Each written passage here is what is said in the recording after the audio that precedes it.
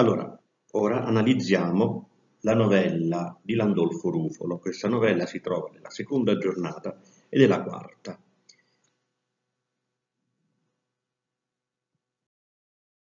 Andiamo a leggere prima la rubrica nella quale Boccaccio ci presenta gli elementi essenziali, ci dà appunto la prima chiave interpretativa. Landolfo Rufolo, impoverito, vive in Corsale e da genovesi preso rompe in mare e sopra una cassetta di gioie carissime piena scampa e in gurfo, ricevuto da una femmina, ricco si trova a casa sua. È chiaro che il tema della novella è quello della virtù contrapposta alla fortuna.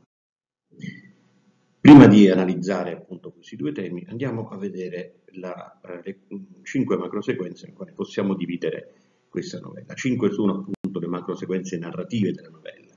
La prima eh, verte intorno all'impresa sfortunata di Landolfo Rufolo a Cipro. La seconda, i fortunati atti di pirateria che compie Landolfo eh, per riconquistare quello che aveva perso. La terza sequenza ha a che fare con la tempesta che colpisce Landolfo che stava tornando eh, a casa sua e la cattura da parte dei genovesi. La quarta sequenza fa riferimento al naufragio subito appunto da Landolfo Rufolo e la quinta sequenza con la salvezza e la nuova e maggiore ricchezza che Landolfo Rufolo riuscirà ad avere alla fine di questa novella. Allora, andiamo a vedere come Boccaccio ci presenta Landolfo Rufolo. Eh, quasi all'inizio della novella, ecco le parole che Boccaccio usa per presentare il suo personaggio. Tra le quali città dette, ne era una chiamata Ravello, nella quale come che oggi vabbia di ricchi uomini, ve ne ebbe già uno il quale fu ricchissimo, chiamato Landolfo Rufolo, al quale non bastando la sua ricchezza, desiderando di raddoppiarla, venne presto che fatto di perdere con tutta quella se stesso. Come vedete, Landolfo Rufolo già è ricco di per sé, però ha una mentalità mercantile, cioè non gli basta la sua ricchezza e vuole appunto raddoppiarla, attenzione a questo raddoppiare perché eh, lo troveremo proprio nella, nel finale della novella. Vuole raddoppiare la sua ricchezza, eh, ma eh, per più volte, eh, rischiando di raddoppiarla, rischia anche di, perdere, eh, di perderla e perdere anche se stesso, cioè rischia Landolfo Rufolo anche di morire. Vediamo la seconda presentazione, un pochettino più in là. Eh, Boccaccio dice, costui adunque siccome usanza suole essere dei mercanti. Fatti i suoi avvisi, comperò un grandissimo legno e quello tutto di suoi denari caricò di varie mercanzie e andonne con esse in Cipri. Vediamo già um, alcune parole che poi saranno eh, analizzate nelle slide successive. Innanzitutto la ragione di mercatura, l'uso tipico dei mercanti, eh, i quali fatti avvisi suoi, cioè fatti i loro calcoli, decidono di investire i propri denari in merci. E allora vediamo in che cosa consiste la virtù del mercante. Tre sono le caratteristiche essenziali. Intraprendenza, calcolo e mancanza di scrupoli.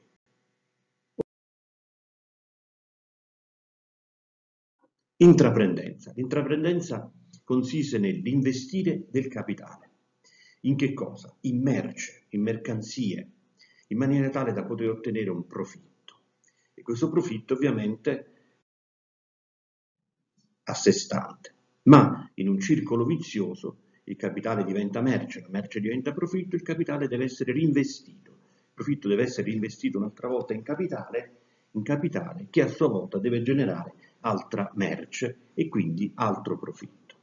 In un circolo appunto vizioso eh, praticamente infinito.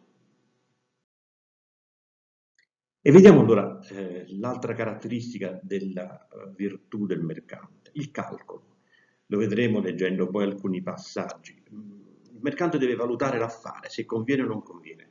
Deve dominare la realtà circostante per quelle che sono le proprie forze e capacità umane, quindi deve avere la capacità di vedere prima quali possono essere eh, appunto le possibilità di questo affare e ridurre l'imprevisto e il rischio.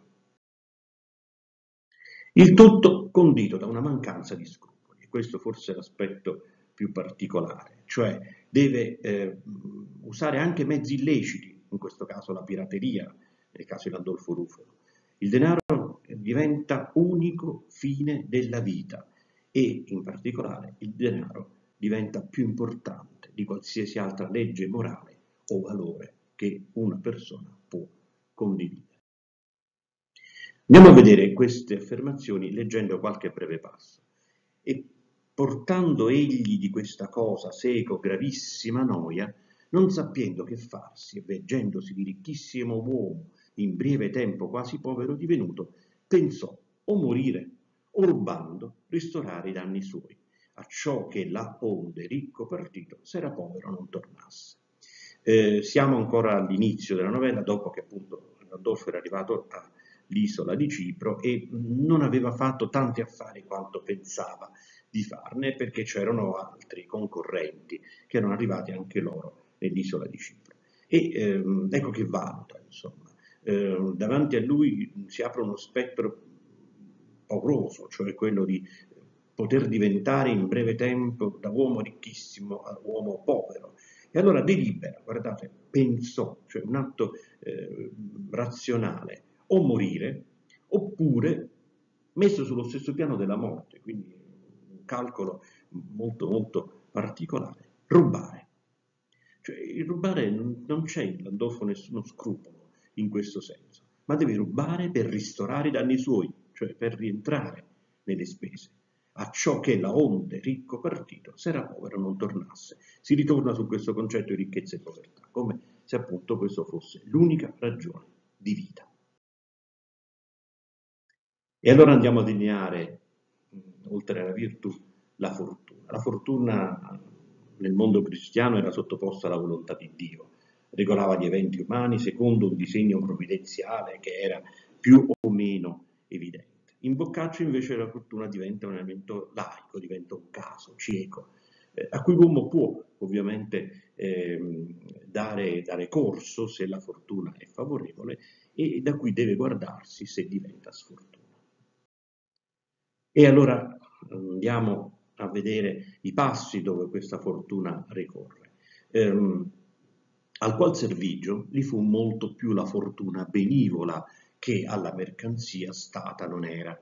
Egli, forse infra uno anno, rubò e prese tanti legni di turchi che egli si trovò non solamente avere racquistato il suo, che in mercanzia aveva perduto, ma di gran lunga quello aver raddoppiato. Ecco, ritorna eh, in questo passo che eh, ancora si trova nella, parte, nella, prima parte della novella, cioè eh, quando lui ha venduto la sua nave a Cipro e si è dato alla, alla pirateria, si vede che insomma la fortuna è stata dalla sua parte. Eh, non c'è nessun ammonimento morale. Lui ha uh, usato la pirateria e eh, rubando eh, tante navi ai turchi, egli riuscì non solo a riacquistare il denaro che aveva investito, ma addirittura ottenere dei profitti. Appunto, ritorna per la seconda volta il termine raddoppiare.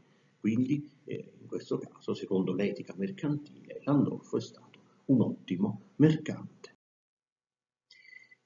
Per la qualcosa, gastigato dal primo dolore della perdita, conoscendo che egli aveva assai per non incappar nel secondo, a sé medesimo dimostrò quello che aveva, senza voler più dovergli bastare, e perciò si dispose di tornare con esso a casa sua. Ecco, dopo un anno di pirateria, i soldi che aveva guadagnato, decide di ritornare a casa. E eh, serpeggia, comincia a essere presente per la prima volta una sorta di cautela nel mercante, eh, per non incappare in un secondo eh, evento sfortunato, eh, pensa che quello che ha guadagnato possa bastare, almeno per ora, e quindi decide di tornare a casa, non vuole più guadagnare di più.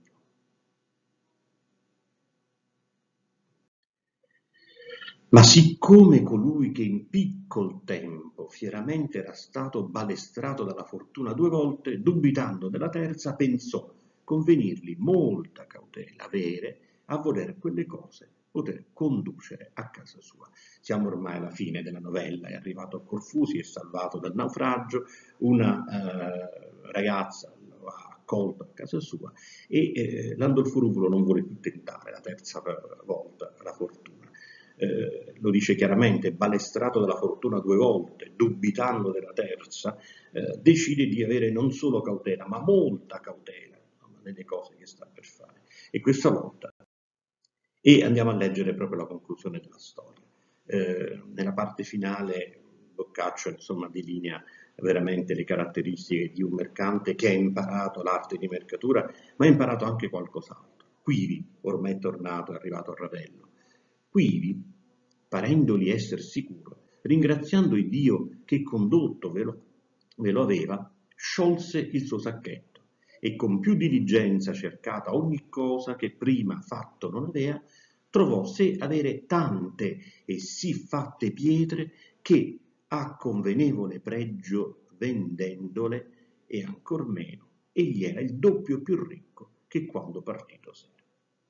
Ormai Landolfo è arrivato a mm, sta al sicuro, ringrazia Dio dell'impresa che è andata a buon fine e decide naturalmente di eh, condurre una vita più morigerata. Eh, però, come vedete, insomma, eh, investe, no?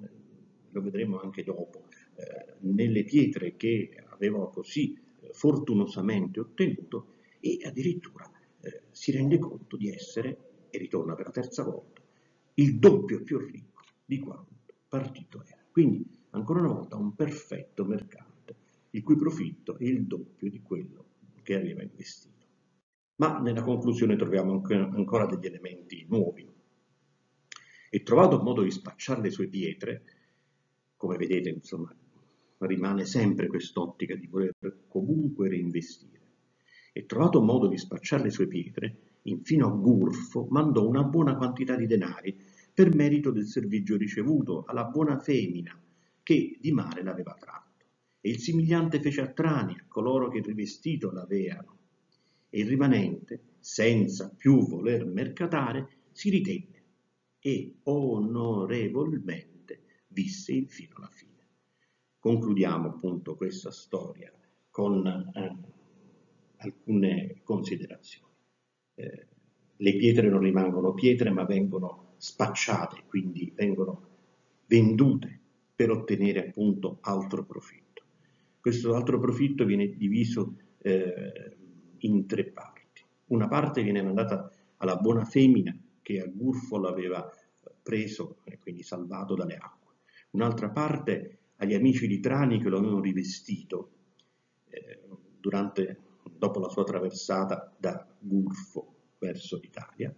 Il rimanente, probabilmente la parte più importante, eh, la tiene lui, naturalmente. Però non vuole più, vuole Landolfo, più fare il mercante. Si ritenne, ecco la qualità, l'enorme cautela, si ritenne, non investe più e così vive fino alla fine dei suoi giorni.